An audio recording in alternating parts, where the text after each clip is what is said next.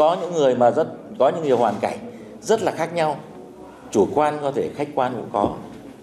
Chưa hiểu hết một cách đúng đắn. Có những cái kỳ thị, có những cái định kiến đối với đất nước mình, đối với chế độ mình.